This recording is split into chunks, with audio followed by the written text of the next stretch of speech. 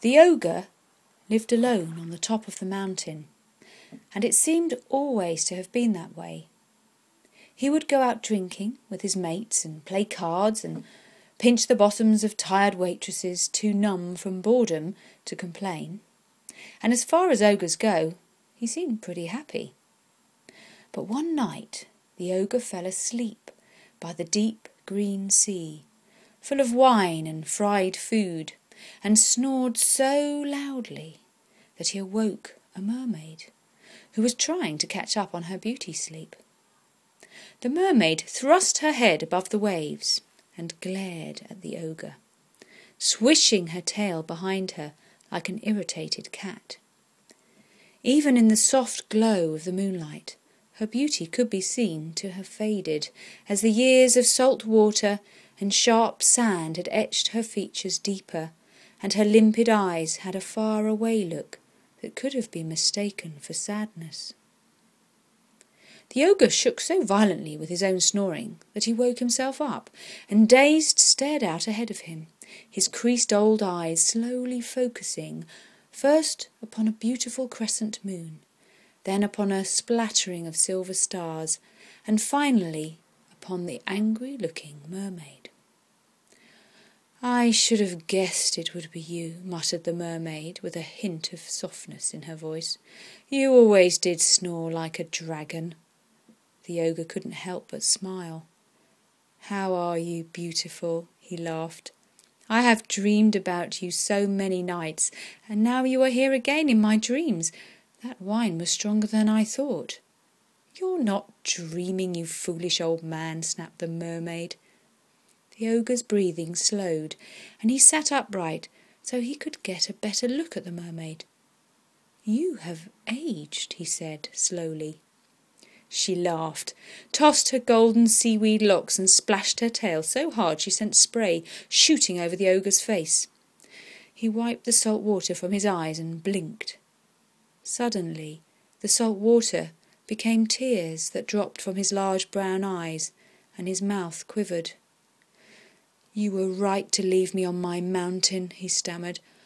I am old now, too, and my life is unsurprising and full of mediocrity. Not how it would have been with you, my love.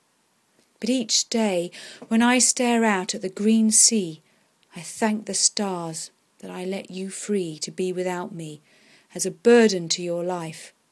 You will have fared far better alone without me. The mermaid folded her arms and put her head on one side thoughtfully. And how is that so? I am fat and ugly, replied the ogre, there were times with you that I felt fit and handsome, but I was always going to fall prey to those delicious currant buns in Mrs. McGinty's cake shop, and my big nose and huge crooked teeth were always going to be the first thing that anyone noticed about me. That's true, replied the mermaid calmly, with a slight smile. And I was always so unreliable, continued the ogre, wiping away another salty tear with his large chubby hands. I still am, of course. I'd make a promise and then somehow I just couldn't seem to make it happen, even though I tried and tried, and I couldn't bear to keep letting you down and disappointing you. Why should you have to put up with that? Why shouldn't, replied the mermaid. So you have made a better life now? asked the ogre, though his question was tinged with regret, and he turned his head to stare again at the moon as if he didn't really want to hear an answer. You silly old fool, laughed the mermaid. Yes, you are fat, and your nose is big and cavernous enough to house a family of mice, and your teeth are crooked as ancient tombstones.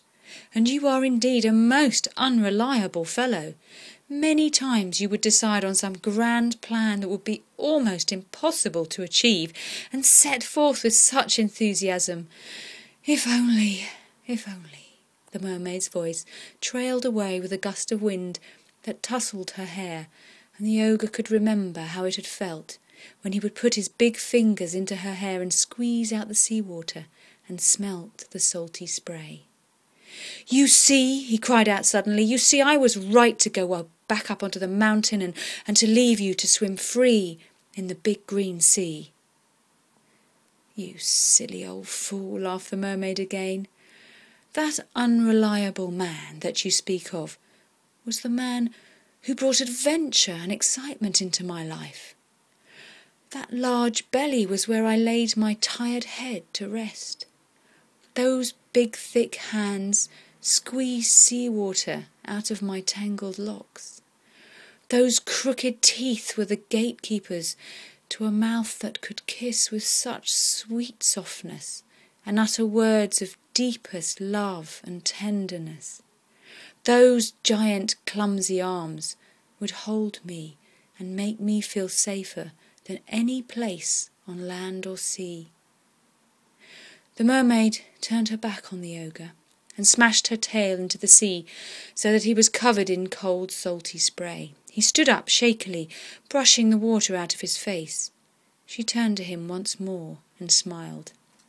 That person you so dislike, that man you've saved me from, that was the man I fell in love with. But it is not enough for one person to love another. You needed to love yourself too. And I see you still have not learned that lesson. As the mermaid swam out to sea in search of her supper, she sang a ditty that lay suspended in the air like the smell of fish hangs on the breeze once the fishing boats have left the harbour.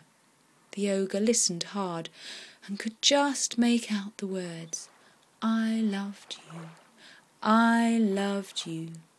I love you, you silly old fool.